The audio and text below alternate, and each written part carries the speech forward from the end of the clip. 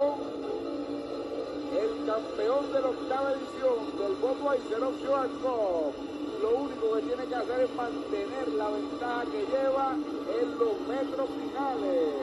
Transmisiones arriba, trima arriba y trote abajo. La última boya y acaba de ganar Star and Stripe. Joey Precia y su piloto Junior Figueroa Budweiser Offshore Cup.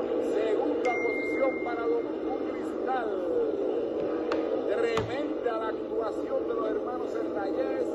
La lancha más consistente de esta categoría en Puerto Rico. Y si la mente no me falla, Elliot, acaba de caerse un invicto.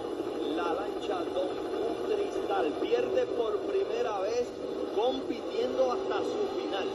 Y ahí va Wilson, que va a cruzar la meta en una honrosa tercera. Nos dice al respecto. En este año prácticamente lo que hemos hecho es unos cambios en los salvavidas de los tripulantes para que tengan una flotación neutral y por lo tanto no vayan a quedarse encajados dentro de la cabina si acaso fueran a virarse.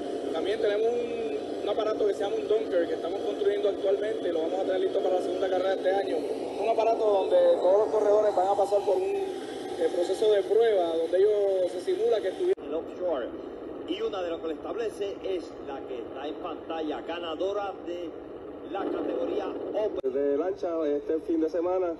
Este, quiero felicitar a los muchachos del bote de Stars and Stripes, Joe Impresa, eh, que es uno de los mejores aceleradores del mundo, y a su compañero Junior Figueroa. Eh, hicieron una tremenda labor. This was put on very well.